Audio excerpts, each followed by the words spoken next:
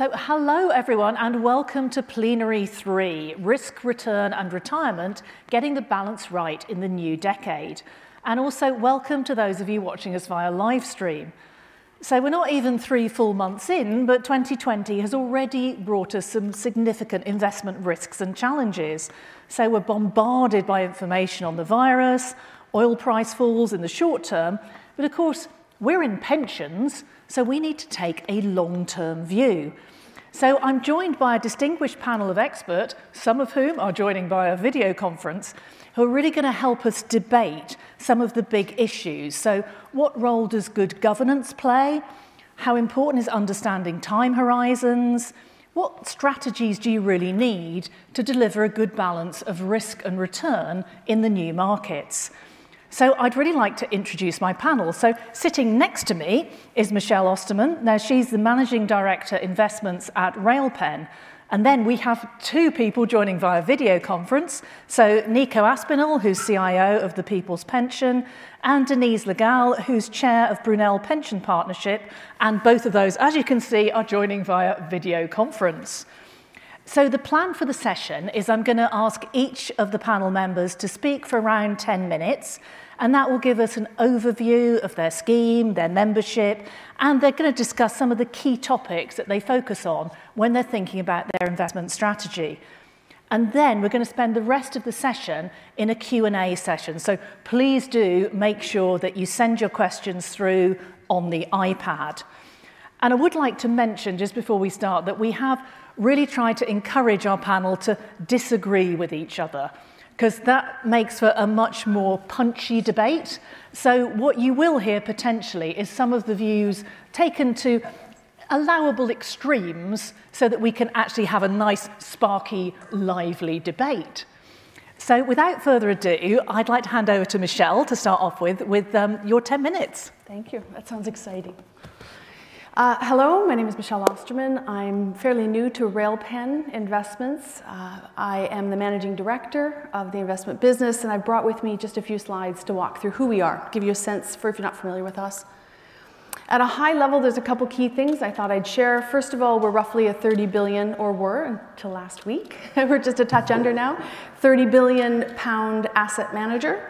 Uh, we're responsible for the pension benefits of 350,000 members across the UK, uh, in many ways affiliated to the rail industry, so they vary in their nature. Uh, it is constituted of 100 different clients. We refer to them as separate schemes, as they're quite distinct.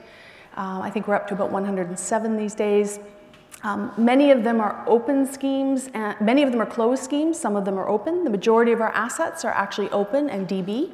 We have a fraction of DC assets as well. Uh, we are the fifth largest UK pension scheme, and we right now sit just under 30% assets. Actually, as of this week, we're probably tipping over the 30% mark of illiquid assets, which would include uh, the traditional private market vehicles. Uh, that's a number that we've worked hard to put on the books over roughly the last five years as we've internalized our investment strategy. Uh, we manage roughly 65% of our assets in-house to date, uh, with plans to review that. I don't expect it to grow massively, but it is something that's likely to go up, not down, similarly with the illiquid asset exposure. So with those statistics, I thought I'd give you a sense for who we are. Um, additionally, I thought I'd share one key thing that we've recently been thinking a lot about. Core to Railpen is the consideration of our members. We're very centered around the benefits that we provide to them and trying to optimize the ability for them to receive lifetime income. Uh, we have a quite diverse nature to our different schemes. As I said, some of them are very small with only a few members in them and they're closed sections. And some of them are rather large with tens of thousands of members and billions of pounds backing those liabilities. With that diversity, we see a pretty well one of everything. And so I see Railpen as a microcosm of pretty well the entire pension industry in a way because of the number of sections we're responsible for. We took the time to think a bit about the, the, distinct nature of these sections, and we've started talking a lot about journey planning and looking at identifying the uh, investment objectives and the long-term expectations of each of these various schemes so that we can be more thoughtful, more tailored, more customized in our approach to their investment strategy and in particular risk management. I assume today through this conversation we'll get into that topic more. I'd be happy to share in more detail what we're thinking. But one of the early things I asked our team to calculate for me was so that I'd understand the nature of the scheme better. Each of the sections have a different benefit design. In fact, I've been told by our administration team that we have as many as over 500 different scheme designs, so benefit structures. They're quite distinct. Um, even though we have 100 different schemes, over time we've grandfathered certain features and we've had to accommodate uh, the various sections. So it's quite diverse in its nature. They'd have different retirement ages and different contribution rates, et cetera. So it's hard to look at it as, as one entity. But I did ask them to take a look for me at the nature of all the contributions that we receive, all the benefits that we pay out, and roughly what the growth or the earnings on the investments look like in the interim. And we got some really interesting insight out of this. I had spoken to a couple of our members and asked them uh, what they thought of the scheme, and one of them brought to my attention he was quite surprised to find that after only about, I think he said three and a half some years of retirement, he was calculating how much he was taking out of the pension scheme as income. And generally, we only play, pay you know, a small amount per year. It might be, I think, on average, 8,000 pounds of income annually to an average uh, beneficiary. But he was adding up the sum of all the payments he was receiving from the pension and compared it to all the contributions he recalls making over his career and he recalls what percentage he was paying and roughly what he was making over his lifetime. So it was a rough calculation. And he was pleasantly surprised to find that he had exhausted, he felt he had exhausted or already taken in income more than the total sum of what he felt he had put in, in nominal terms, of his own uh, income in the past.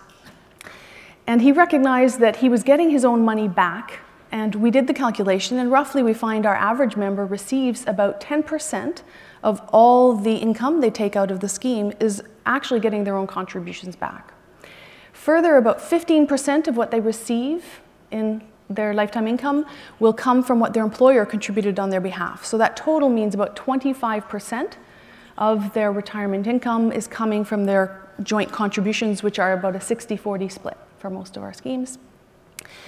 And he asked me quizzically, how, where's the rest coming from? This feels like it's free money. You know, how do I, did I, am I being, is this fair? And we explained that over his 30 some years of working life and then 30 some years or 25 years of retirement, we would expect that 50, 60 year span, uh, the investments that the contributions he gave us were compounding and growing on average. We target around the five and a half to six and a half percent return. And when you compound that over so many years, it has a significant impact. And we explained that most of the income that he was earning uh, was actually a result of the investment gains. And it made him realize just how important that investment strategy was and how beneficial it was for him to be invested in a scheme like ours. I think what differentiates not just RailPen, but many of the large DB providers is that we have scale, we have long-term nature, we have relatively low costs, we are quite efficient, and we're able to use private assets to be able to get above typical uh, uh, risk-free returns. And so the sum of all those benefits are what provide as much as 70 pence on the pound for a lifetime income. And this number was important to us once we understood this because it helped us connect back to the member, remembering that what we do as an investment company has so much to do with the uh, viability of the scheme and the sufficiency of lifetime income. It's really a practical and uh, ideal way for one to be able to save uh, for retirement in particular. So I thought I'd share that statistic with you. I think it's uh, fairly simple. It is on average across all the schemes, and it's, it sounds like it's probably fairly typical with most schemes, um, but it did change our thinking a fair bit lately. And the last thing I'll share with you that may, again, provoke a little conversation later, which would be fine, since we hope to discuss the topic of risk today, I thought might be interesting for folks to see one of the frameworks we're using to think about risk. We focus a lot on investment risk. I hear that word bantied about quite a bit. And it's a bit of an innocuous term. It actually means a lot of things, different things to different people. But recognizing that we really have multiple facets of risk when we manage pensions, DB or DC, but this has a bit more of a DB flair to it admittedly, is the investment risk or the risks related to our assets are distinct and we spend a lot of time. We often refer to volatility and VAR as a measure of investment risk. But it's far more diverse than that, especially when one invests in private assets. There's a lot of distinct considerations, even reputation risk, when you're investing in a private asset in a difficult local environment. Um, liability related risks, such as mortality, longevity, inflation features that are embedded inside of some of the benefits. And then what we call funding risk. Funding risk is that overlap. It's the consideration of the asset risk and the liability risk in concert and asking oneself how variable might the surplus or the fundedness of the scheme be.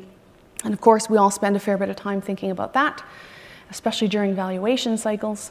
And then lastly, we think of the covenant as the covenant when we're managing uh, pension schemes for employers. Uh, they themselves have to bear the tail risk of all of this investment strategy. And it's their balance sheet which has to be able to foot the ultimate bill. And so we think of that covenant risk as, as that uh, safety net, if you will, that stands beneath the sort of actuarial work we, we use to think about asset and liability risk management. So I'll leave you with those, uh, perhaps just food for thought, perhaps very familiar, uh, but that's uh, what I thought I'd share on behalf of Railpen. Great, thank you very much, Michelle. Um, now I'd like to ask uh, Nico for his views. So assuming that everything works via video conference link. oh. Nico, there you are. Fantastic. So you've got your 10 minutes now. Thank you very much. Thank you. Um, so I'll also start by just describing who we are. Um, so the People's Pension is an auto, auto enrollment master trust. Um, and I think currently we're the second largest uh, master trust in, in the market, although I played this game with Emma on stage uh, last year because uh, it does depend on how you define uh, the master trusts. Um, so we are um, about four and a half million members in total, so about two million regular contributors, uh, and those are staff from about 90,000 uh, employers. Um, I think the peak of 19th, 20th of February uh, we hit just shy of 9.7 billion. So um, our 10 billion pounds uh, celebrations, unfortunately, on ice due to recent uh, market movements. Um, but, but, but really, I guess the more telling statistic is that we're taking contributions of something like about three billion pounds uh, a year. So uh, we are on uh, a very different journey, I think. Um, we were the auto enrollment people will, will, will remember uh, started in 2012. Uh, so the people's pension had zero value eight years ago. Um, so we've really come a long way uh, in that period of time. And then with the auto enrollment contribution escalations, um, which only kind of completed in the last 12 months or so, um, that's when we've got to that sort of three billion pounds a year level. Um, we are uh, a part of B&CE, that's a, a not for profit fund uh, that was started in 1942, uh, principally to look after holiday pay for the building trade. Um, so we've got a very long history. There's a number of other um, uh, pension schemes and uh, insurance products that, that I look after as part of my job. Uh, but very much the people's pension is the, the, the, focus for the future. So when I when I look out to the future, um, uh, you know, the, the, the, journey that we face uh, has to start with our, our members. Um, auto enrollment, uh, just by the nature of who was in pension schemes before auto enrollment, it's kind of focused towards younger people um, and also towards the lower paid. So traditionally, if you're a white collar employee, um, and maybe if you had a bit more more service than uh, than you were in a, a DB scheme or, or in a in an in-house defined contribution scheme, so our membership is is really younger. I think our average age currently is 36. Um, and uh, looking at the sort of national average earnings, we're slightly below that. I think um, we always challenge ourselves to look at uh, that kind of membership profile. Uh, we will have people essentially just above the auto enrollment minimum contribution level of about £13,000. So um, quite a diverse population, but very much tilted towards the young and the, and the slightly uh, lower paid in, on, a, on an average basis. So when I think about that kind of investment time horizon, um, you know, if you think about a scheme with an average age of, of 36 years old, uh, and we're thinking about taking them through retirement and into a sort of drawdown relationship, we might have an investment time horizon for that 36 year old of something like 40 or 50 years. So, uh, really setting out a governance framework which is uh, appropriate for that kind of challenge, uh, and uh, making sure that we can can hold that to account without being too obsessed with uh, the current market noise is really my job now. So, making sure that we can set out our stall to capture value for those members over the over the long term. Now, I was trying to to suggest some sort of a mantra for we want to have the best um, ten year performance, fifty years in a row. Uh, you have to think about the kind of performance objectives that you can hold your team to. Um, but really, you know, the first phase, I think, of that sort of asset gathering, asset growth is about a 10 year horizon. So looking out to the world in about 2030. Uh, when we do the maths and we add up those 3 billion a year in contributions, we're looking like something like a 50 to 60 billion pound uh, institution, uh, which will, I think, put us on current footing of something like the top 10, if not the top five pension schemes uh, in the UK. And when you look around the world and you see schemes of that sort of size or institutional investors in, of that sort of size, uh, I think all of them had longer to prepare to become a, a 50 billion pound scheme. So uh, a lot of my work is to essentially try and envisage uh, what that future looks like and try and learn the lessons uh, from those other schemes. Now, they would have gone through five different iterations of governance models in that process. So there's uh, a huge case study set for us uh, to go and learn the pros and cons of different institutional investors. Uh, and I do spend reasonable time with other institutional investors to just try and learn uh, the mistakes, try and learn uh, the positives from what they do, and very much uh, incorporate that into our views of what we'll be doing over the future. So there's a huge piece of work that we're going through now, which is to essentially ask the question of, so what, what should we be doing? Uh, does my team uh, primarily have responsibility for? What are our views on markets? How do we address those? Um, and I suspect we'll, we can kind of bring those out in questions as we talk about different different issues. I think when I think about 2030, uh, really the biggest theme that we'll be uh, exposed to in that sort of time for, time horizon is climate change. Um, we heard an election discussion uh, of uh, net zero economy of, of something like 2030, or certainly sooner than the government's commitment uh, currently legislated for of, of, 2050. So we're very keen to understand uh, really how to protect our portfolios from those risks. This is not to say that we are climate scientists or that we are uh, thinking in depth about uh, the link between uh, you know different emissions activities and, and, temperatures. There is a huge body of science and expert opinion for us to plug into there with the, the IPCC, which is the UN's body, and the Committee for Climate Change here, which is the, the UK's climate change advisor. So when you read their advice and you think about essentially what the government is going to have to react to, uh, it's very clear that they're going to have to uh, encourage the private sector uh, and that could be a euphemism in the later half of this decade, uh, but encourage the private sector and the economy as a whole to get to a net zero type uh, position. When you currently have assets of something like nine billion pounds, uh, and you look forward to being a, a 50 to 60 billion pound scheme, you can very much see that there's a very big distinction between how you invest those new contributions coming into the scheme uh, versus what you do with the current portfolio.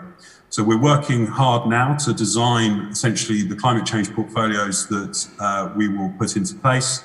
Um, I'm often seen on, on, on, conferences talking about responsible investment. We are an integrated responsible investor. I think it's very important that all of our investment discussions are, are uh, take responsible investment and, and, ESG into account. And that comes from a fiduciary duty uh, to make sure that any risks we think have, might have a financial impact on members are, are incorporated into the portfolio. So um, really climate change, I think, is going to be a very material theme for us and, and of course the wider economy in future. Um, but quite often I get sort of accused of talking about divestment when I talk about climate change. And I'm very keen to make the distinction between uh, not buying coal assets and deciding where to, to, to, put that money. So there's a difference between not buying and, and, and selling a legacy asset. So we're not talking about divestment. It's very important that we go and engage with uh, what I'd frame as the brown economy. Uh, a lot of those companies will have uh, uh technologies and, and, be part of the, the, the solution. Uh, but really, it's to say that we need to use the, the flows of those contributions to be finding uh, the green economy of the future and making sure that we're putting is, the portfolio into a place that we can protect members for, for longer.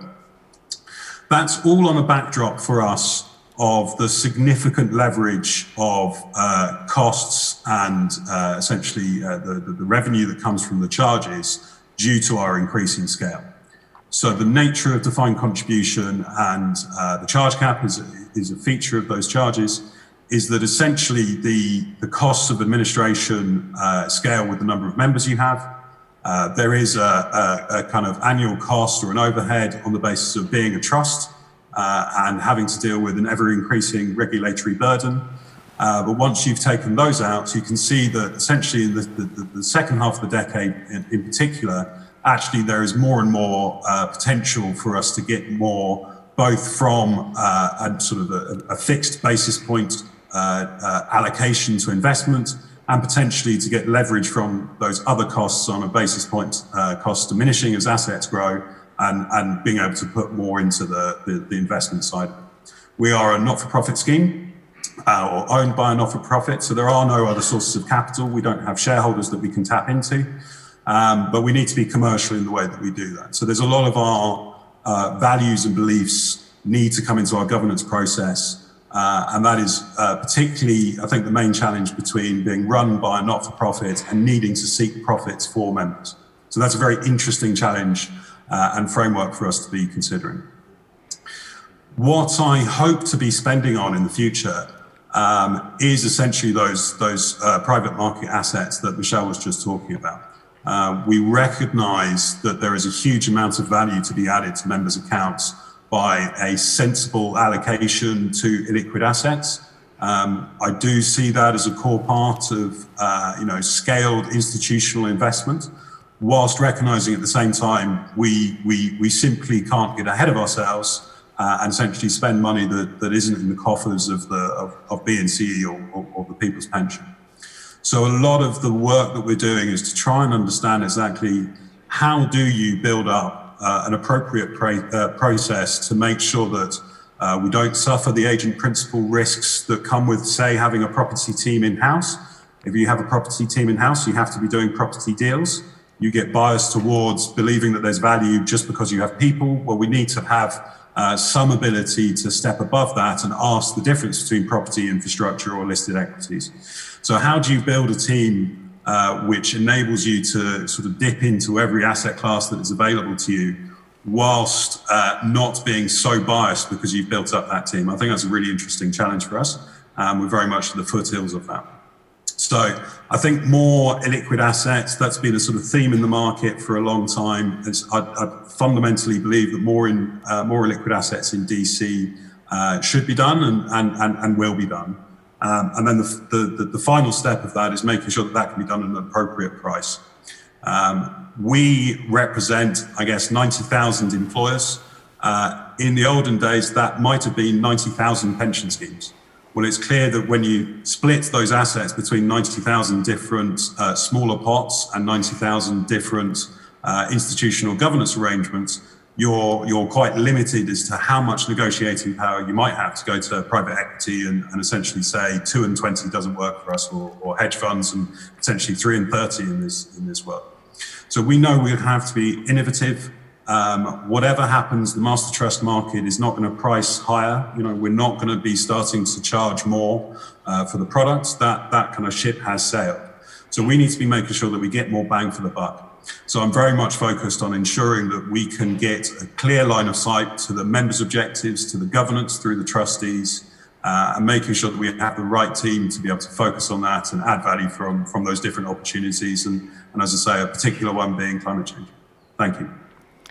Thank you very much for that, Nico, and fascinating to see the inside of your house as well. That's one of the great benefits of video conferencing. So now let's go over to, to Denise and see the inside of her house as well.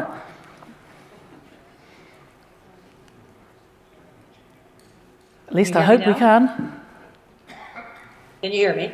We can hear you, Denise. Sadly, oh, good. we, we can't. We can't. Oh, we can see you. Brilliant. By saying thank you to the uh, PLSA team for letting me join in remotely. I'm, I'm very sorry not to be able to join you in person, and it does seem a bit bizarre because we can't see the audience, but I'm sure you're there. Um, mind over markets as the theme of this conference couldn't possibly be more apt and given the circum, current circumstances. And we've just uh, heard and received an ambitious, or I think it's ambitious, budget from Rishi Sunak, where he's announced 30 billion that's been pledged to deal with the um, coronavirus alone.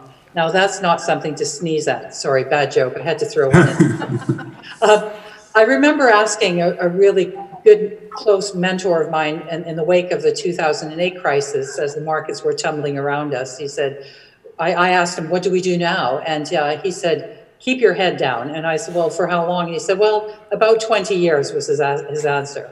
Well, fortunately, that didn't really materialize, particularly in the equity markets. We've had a very good run.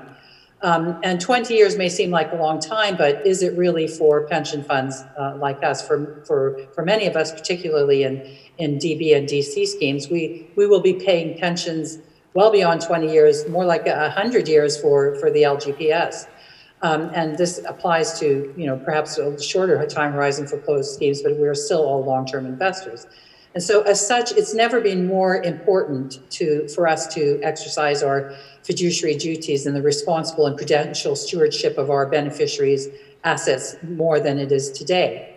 So I've been asked to give a short overview of the Brunel Pension Partnership and its role within the local government pension scheme, which I'll refer to as the LGPS. I'll also talk a little bit about the benefits of and pitfalls of pooling within the LGPS and for the private sector schemes, many of whom are still relatively small and might welcome the opportunity to, to see improvements in their own governance. Um, and that includes, as we've heard from Nico, the benefits of scale that come from consolidation and the opportunity to reduce costs and um, improve efficiency. It also represents opportunities to invest in asset classes where scale may have prohibited in the past, like what we heard with alternatives, private markets, and infrastructure. Um, Brunel is roughly the same size as Michelle's scheme, roughly 30 billion pounds. Well, last time I looked, I don't know what it is today, but somewhere around there uh, in assets. And we manage the um, investments for nine counties, mainly those in the southeast, and the Environment Agency. As such, responsible investment and ESG is very high on our agenda. Uh, we've got some 700,000 members and uh, 2,100 employees. But Brunel is really just a small part of the LGP uh, scheme in aggregate. In aggregate, it has some 300 billion in assets and just under 6 million members and uh, approximately 18,000 employers. It, it, ranks as one of the top, uh, the world's largest pension funds. It's all consistently in the top 10. But in the eyes of the government in the UK, however, the LGPS is one scheme. And that was the driver in 2016 when George Osborne announced the mandation of pooling. Um, three years down the line, the original 89 pension funds within the um, LGPS have morphed into eight so-called pools. Um, and by any scale, these are all very large funds. So um, having been through this pooling exercise, I sometimes get asked for advice by some private sector schemes who are considering consolidation either through master trusts or super funds, mergers, etc. They want to hear about our experience and how it has been and how, how it's worked. And I would stress three key factors to consider. The first one is political will with a small p. Um, and this has to start from the very top of the organization at board level. If there isn't sincere desire from the top to consolidate, it simply won't work, or at best, it'll limp along with some half-baked plan. The second thing I would say is to watch out for a fear of subsidiarity. I remember when we pooled, I wasn't with Brunel then, um, I said to my, my team, I don't really mind who we pool with, providing we're in charge. I, I said this half jokingly, of course, but for those who doubt others' ability to govern as well as they think they do, I would suggest that it's really important to view it as a partnership. Um, all stake stakeholders must be fully engaged and feel that they are equals to make it work. And the third thing is compromise and, um, and uh, adaptability. It was hugely important for the LGPS to approach, uh, to approach pooling with eyes wide open. It um, hadn't been done on such a large scale uh, before within the UK. And often we were learning as we went along from a legal, regulatory perspective and just practical issues of building, putting offices together, et cetera. There often were no rules, and some things are still relatively unclear. We are still learning. Um, that said, it's, it's remarkable, quite remarkable, how much has been achieved um, in, in a very short period of time, in less than three years. I'm sorry, I forgot to turn my phone off. I'll do that now. That's the BBC announcing something, but I'll look at it later. Um, some pools have already achieved over 50% of their transitioning of their underlying assets. And um, overall, there has certainly been a lot more investment in alternatives, in uh, particularly in infrastructure, which was one of the uh, objectives of the government. Uh, the interest we've already heard in responsible investment has gone through the roof. And we recognize not everyone is at the same stage in, in, in that journey. In our case, the Environment Agency has played a huge role in uh, uh, raising awareness across our pool and, and beyond. Um, our other clients are now pressing really hard for training and for help with ESG in general and cha climate change in particular. They're not all in the same place, but the important thing is that they want to do the right things for their members. And this is a global trend that we're all aware of and that is not is is here to stay and, and will not go away in my view. But um, through this pooling exercise, not everything is perfect, and it's not surprising, nor should we be afraid to take stock after a period of time of to pause and reflect what has worked and what hasn't worked. Um, and Nico mentioned, you know, the sheer amount of regulatory change and for the LGPS delays and some guidance, the outcome of some legal cases like the McCloud case causes us some worry. Um, and not knowing where that will take us makes planning a little bit harder. So do we wait things to happen or do we shape our own destiny? You know, there are no easy answers to any of these things. But I'm of the view that we should seize opportunities as and when we see them and uh, not be afraid to innovate. Uh, there are several opportunities out there if we want if we want to pursue and as I've said before if we have a will to do so. In hindsight for the LGPS, perhaps we should have started with pooling our pensions administration teams rather than our assets. Um, it's a good opportunity to clean data, uh, which believe me, not all data is equal. Uh, and you know that's so important because it informs the actuarial valuation assumptions and in turn uh, strategic asset allocation. Uh, that's not what we've done, but there's still a good case to be made to consider doing so in retrospect. Uh, we know how difficult it is across the UK to recruit pensions administration staff and, and the consolidation of administration for us within the LGPS and any, and I'm sure elsewhere, uh, should help in that respect. In the, in the bigger picture, further consolidation in the pools and certainly in the private sector seems probable in the me medium term. However, the question is, will this, is this something that will evolve organically or will it be mandated?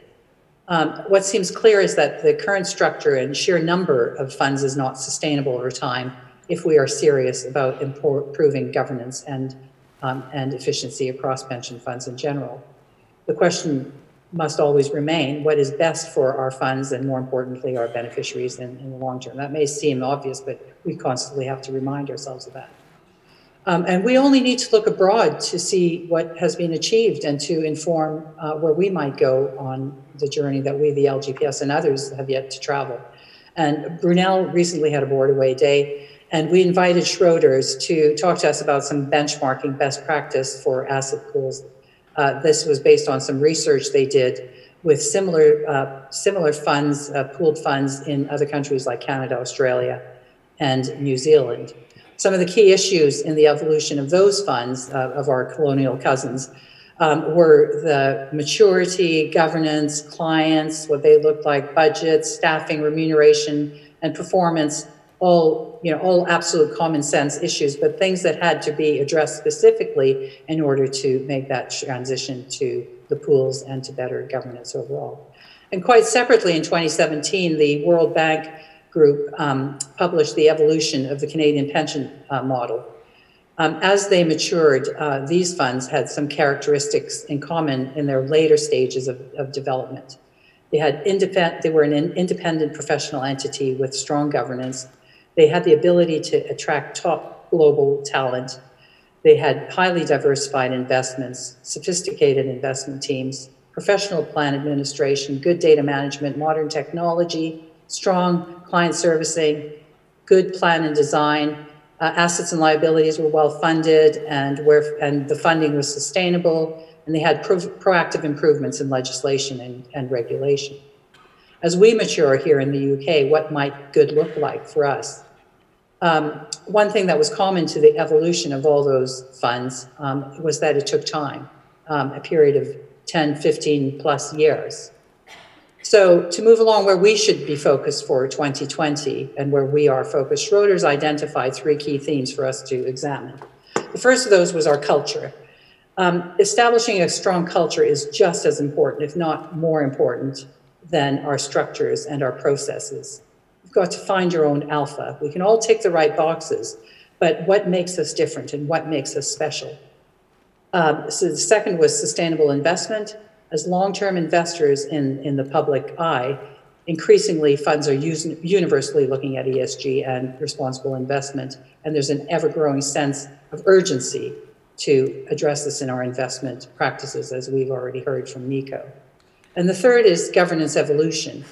Many funds are increasing their internal resources and managing more in, in assets in-house. We also see increasing collaboration and cooperation with peer funds for smaller funds. The key here is to try to continuously achieve better governance overall. If we get those three themes right, culture, sustainable investment, and good governance evolution, then we will see stronger pension funds across all sectors with good value propositions for their beneficiaries. We can then all focus on forging better futures by investing for a world that's worth living. Thank you. Thank you very much, Denise. Right, well, I have had quite a few questions come in through the app, so I think we'll start taking a few of those now. So, um, one of them was you all represent massively big schemes. So, you know, is there any way that the smaller schemes in the audience can take some of these ideas that you've got? Or do you actually need scale for things like the private markets investment that we were talking about? You know, should, are we looking for consolidation? Do we have to go for the pooling that, that Denise has gone to? You know, or can some of these ideas work for smaller individual schemes? I'll start with Michelle because you're right next to me sure. and get your views on that. Sure. Uh, it's funny, we, I think of this often, uh, especially since I have been recently imported from a colonial cousin. You may tell by my accent, I'm Canadian and I've uh, only been here about a year. The firm I worked for in Canada was quite large, significantly larger than Railpen is. And so I've asked myself a few times, in, we're about 30 billion pounds at Railpen, we're scheduled to be roughly in the next 10 to 15 years about 50 billion. Is that big enough? Is that big enough to do how much more in private assets? And I'd like to address, but we don't have to do it now, Nico's comment around the allocation to private equity and that once you have an in-house team, the insatiable need to keep feeding it. There's some thoughts there I'll share. But I, from my, and this, I don't have a lot of science around this, perhaps just a bit of experience and uh, intuition. I think to practically do private assets, and what I mean by that is infrastructure last, private equity first. Uh, you need to be it, to make it cost effective and all the fixed infrastructure and governance you required, including systems, operations, risk management, uh, and to pay the price for the salary. The headcount is what is your biggest expense. To attract them to the opportunity to do it for you in-house needs to be north of 30 billion pounds. I think in, the sweet spot is closer to 50. Um, the firm I worked for in Canada was 175 billion pounds dollars, and we had uh, 30 and 40 person infrastructure, private equity teams, et cetera, and a, probably a thousand person real estate company dedicated to do about 50 billion uh, dollars of real estate assets. And so that was massive scale and was starting to get a bit too big. But I do think the 30, 50 billion pound size makes sense for investing in some of the private assets. But as a smaller player, I think there's opportunities, and we're starting to do that more with some smaller peers, to uh, do joint venture, to collaborate on individual transactions, perhaps that haven't built the infrastructure that we have.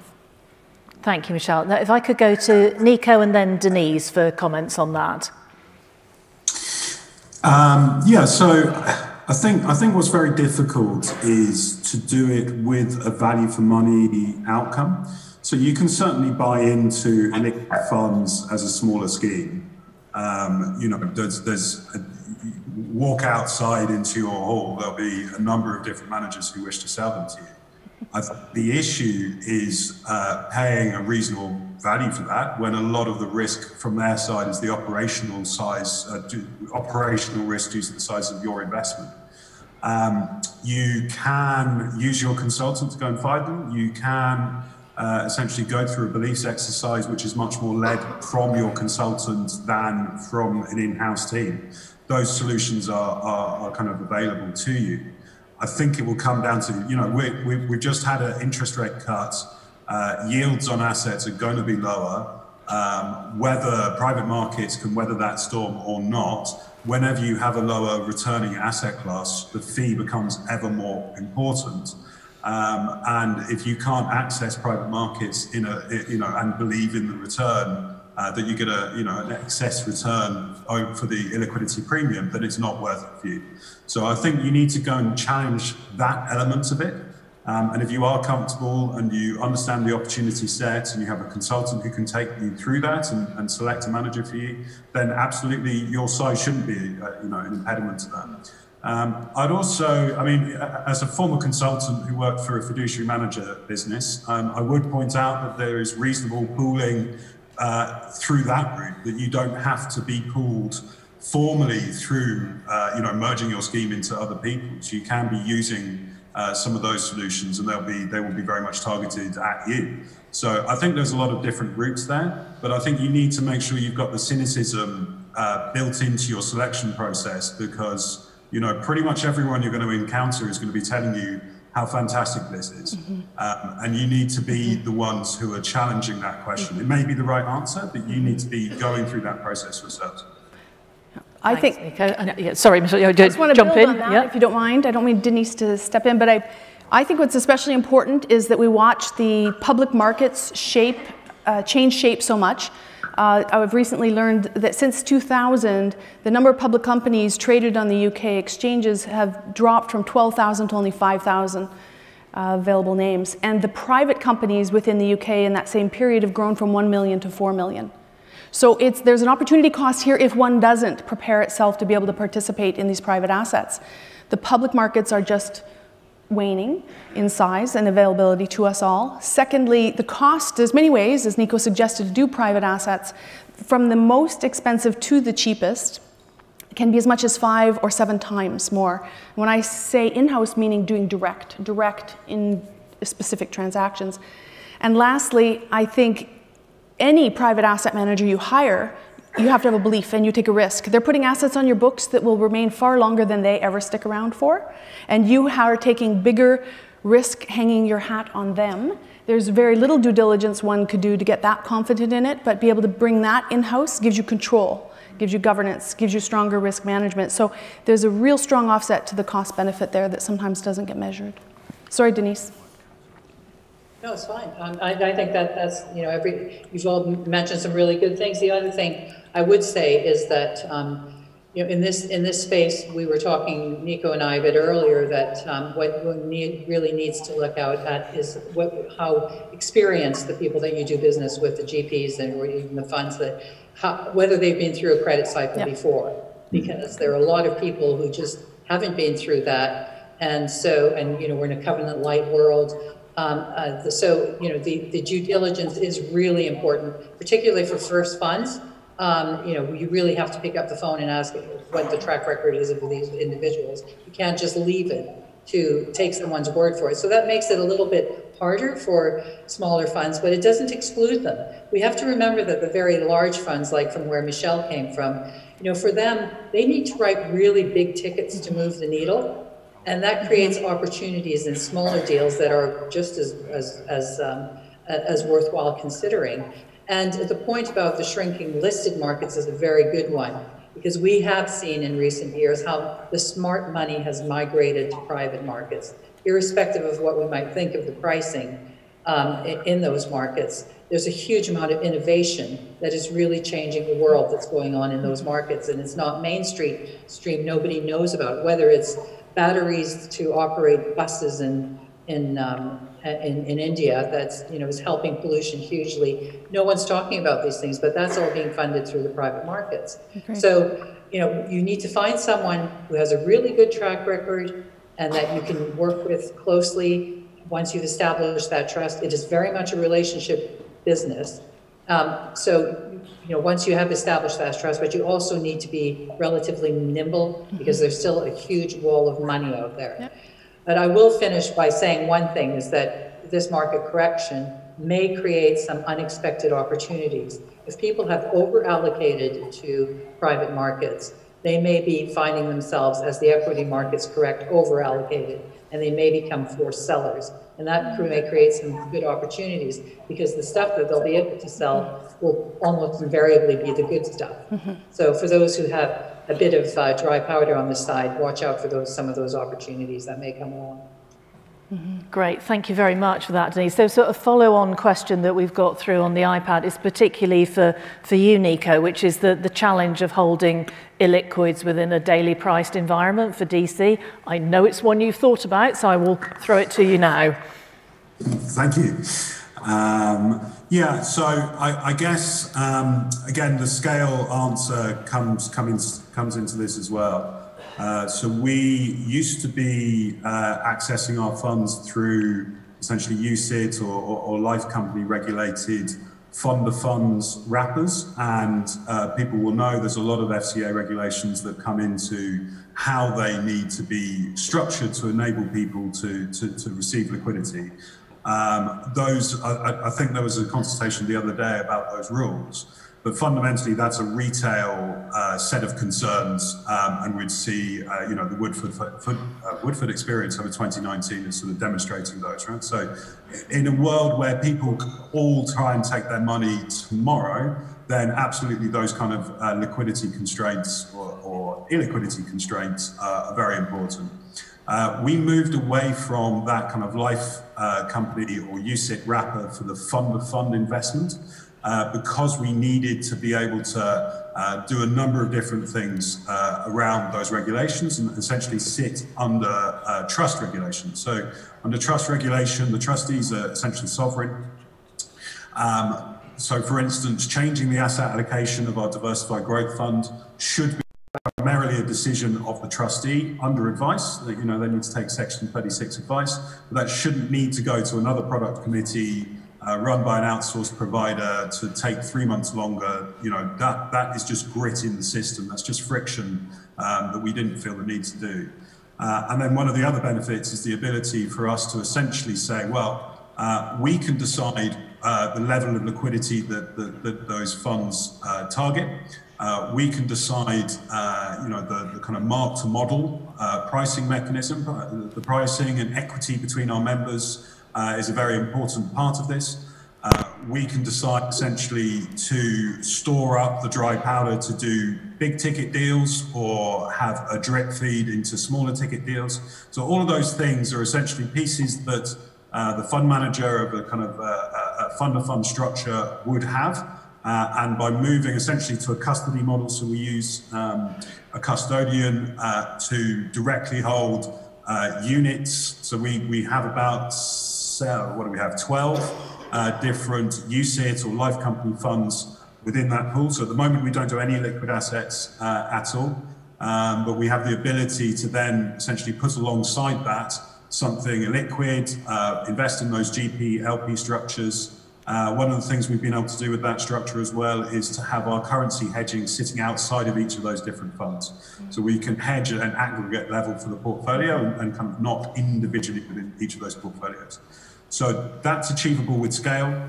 Um, I don't know what the kind of bite point is for that to be uh, uh, cheaper than essentially having a fund of fund manager or a DGF, but I suspect it is uh, into the billions.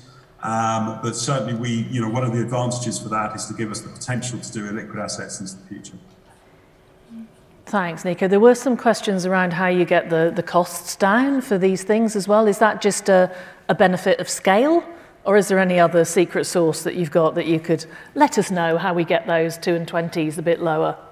Well, so um, as I say, we haven't, we haven't done that as yet.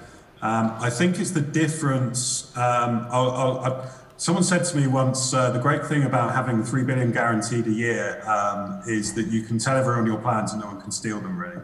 Um, so uh, I'll, I'll, let you into some secrets.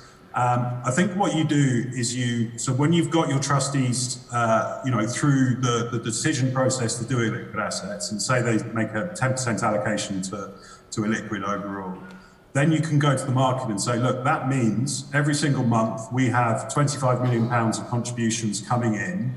Uh, that certainty of regular cash flows into illiquid assets, in, into any manager, uh, is very valuable.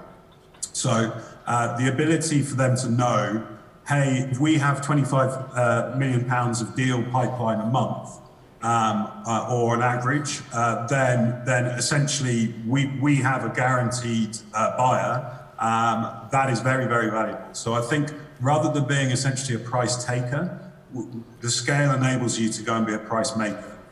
So um, I, I, think it, that is a, a, solution of scale.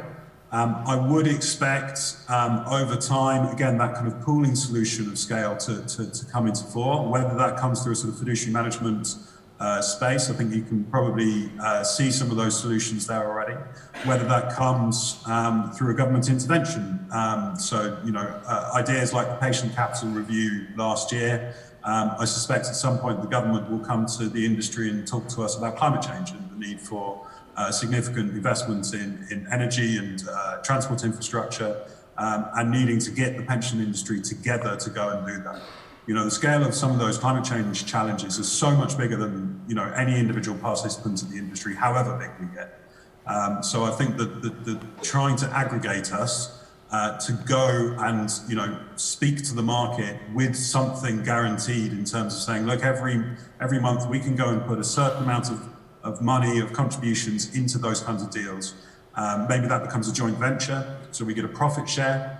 Uh, maybe that becomes a fund that they can go and market externally to, to third party clients. Uh, there's a number of different routes there, but I think um, you know the, the, the scale and in-house team gives you the uh, ability to, to go and be innovative in that space, and, and we need some innovation.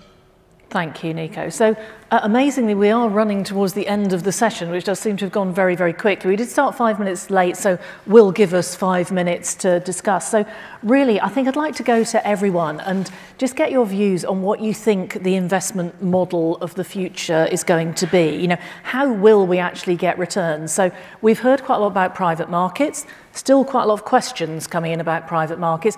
Also, some of the questions have come in about in-house management. You know, can, can we really be sure that, that that's the right way? Are we absolutely certain we're going to get value for money from the in-house management? And how do we test that? So perhaps as you're thinking about you know what this model of the future what our investment styles are going to look like in 10 years time pick up on some of those questions as well in just a few minutes each. So I'm not really asking an awful lot of my panelists, but I'm going to do that anyway because you're all so great. So, Michelle, do you want to start? And maybe some of that in house stuff. I think you had some views on that. Oh, that's a big question. It's a big question. So, yeah, Can model I... 10 year in the future yeah. and thinking around in house management too. Can I be a bit provocative? Please do. Okay. So instead of giving an answer around the investments and the asset side of it, because I think we've talked a fair bit about that, I'm going to speak more about um, strategic nature of managing an investment company because I think we have to remember for our firms, and I think it's for all three of us, we're not just investment firms, we're pension investment firms. And what that means is we're managing pensions for the purpose, uh, we're managing our assets for the purpose of a liability. And I always get a little worked up when we attend events like this and we speak so heavily about assets and investments and strategy and leverage and currency. Really, what really matters and what makes most of the difference is how we align these assets to the liabilities. So I think the future involves more actuarial innovation. I think more understanding of how to provide maximum benefit to these beneficiaries. I notice we haven't talked about the member very much today. That's why we're here. We need to be far more member sensitive. We need to build stronger fiduciary capabilities which align the nature of those liabilities to our assets. These liabilities are quite well understood. Being able to model a liability cash flow is actually really concrete. Present valuing it to today at some discount rate and measuring uh, the value of the liability, ridiculous, but being able to understand what those cash flows are, that's all the assets are. Assets are just a stream of cash flows that we've contracted. We need to understand the nature of how they work together. So breaking out those liabilities, understanding the risk characteristics of it, marrying our asset risk characteristics to it. For instance, inflation. So that's one comment. The other I'd say is leverage. I think the use of leverage and the understanding of different forms of beta and risk factors is far more important than even putting the asset classes on the books. I think we need to put more attention on how we build the asset allocation based on an ALM framework to match the liabilities. We'll get more bang for our buck and maximum returns out of that than trying to cherry pick a single asset or pick a single private equity manager.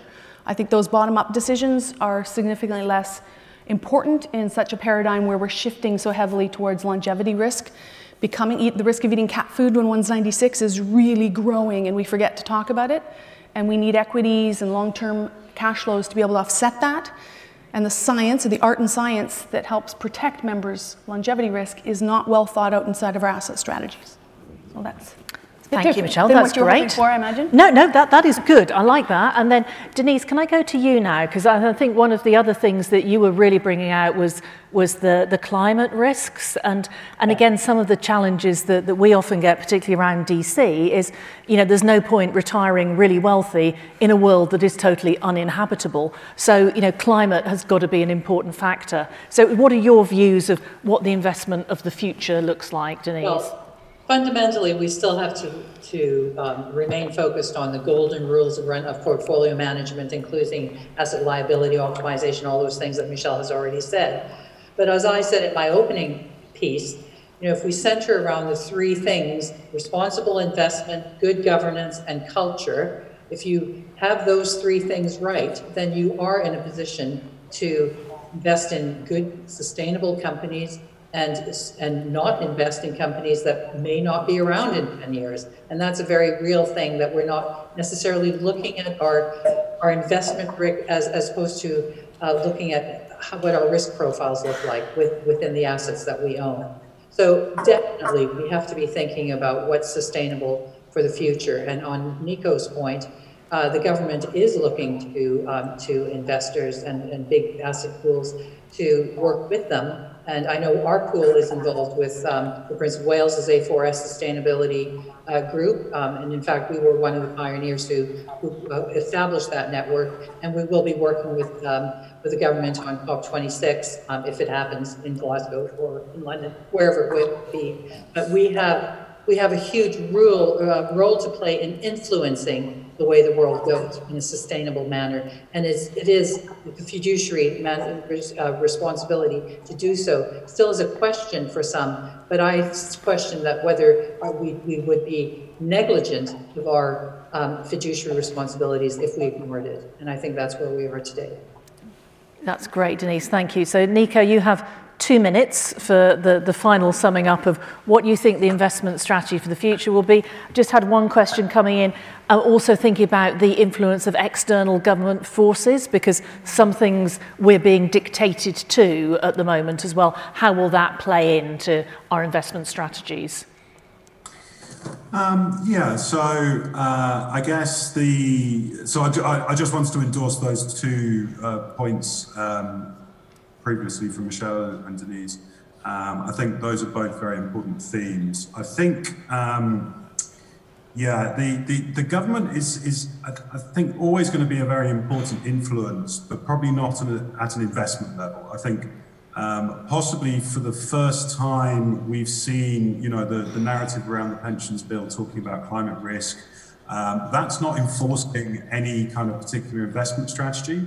Um, and I think it's important that, that uh, you know, the members in the room uh, understand that that I really see as an extension of TPR's duties around uh, funding risk and, and, the categorization of risk. So that's just trying to harmonize the measures of climate risk uh, and giving the regulator powers to intervene where those risks don't seem to be taken into account. So I, I, I think that's the kind of level of influence you're going to see from the government. I don't think you're going to see, um, or it'd be very unusual for us to see the government say, you need to have 10% in wind farms or whatever it is. I don't think that's going to be their attitude. Um, I just wanted to pick up a kind of another theme to add to the model of the future, which is really on that public-private markets kind of shift. I think with technology now, um, we're going to see much more ability for bigger investors to invest in smaller companies. So um, there's a real buzzword that's been talked around the industry, which is probably meaningless, which is blockchain. Um, but really, what does that mean? It means micro access, uh, micro finance platforms of, uh, of brokerage uh, and accessing uh, both debt and equity and, and estate uh, from companies um, who never would previously have been the subject of uh, institutional investment. Um, I, I, think there has been a master, if you look at the, you know, the description of uh, fewer and fewer companies are, are listed, I think that's 100% accurate. The economy as a structure has got more concentrated towards bigger companies, but there are still millions of smaller companies in Britain. I'm sure there's approaching billions of companies around the world who need financed. Um, when I think about sustainability, I think about us taking the capital of labour uh, and then financialising it. Well, actually, if we make sure that that uh, in some way reinvests in the in the places that those those um, those people earn those wages, then we have a circular economy. Um, I think there is the 21st century is going to be very different to the 20th. I don't think we're going to be relying on the Chicago School uh, market efficiency narrative, which says that you know a worker in a workshop should invest in the other side of the planet. Um, I think a bit of economic nativism is probably going to be a part of the future. Um, uh, that's not meant to be extreme. Um, I think that's a, that's a semi-inevitable uh, kind of reaction to, to what we're seeing, and you know that kind of theme of why Brexit.